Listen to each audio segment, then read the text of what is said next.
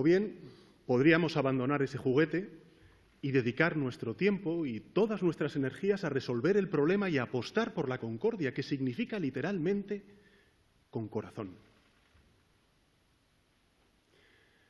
Y eso es lo que el Gobierno de España ha decidido, afrontar el problema, buscar la concordia. Por eso mañana, pensando en el espíritu constitucional de concordia, propondré al Consejo de Ministros conceder el indulto a los nueve condenados en el juicio del proceso, que hoy están en prisión.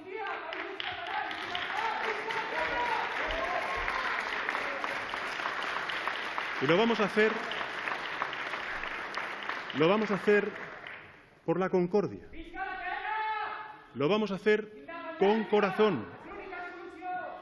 Y no ignoro, no ignoro que, que hay personas y no ignoro, como estamos viendo, que hay personas contrarias a esta medida. Y tampoco ignoro sus razones.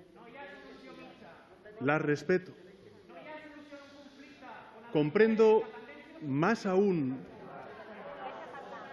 a la parte de la sociedad catalana y también a la parte de la sociedad española. Estamos en el teatro de la palabra, por tanto, todas las opiniones, sin duda alguna, son bienvenidas, porque eso es lo que quería decir. Es evidente que hay parte de la sociedad catalana y parte de la sociedad española que no comprende esta medida, que se oponen incluso a la concesión de los indultos.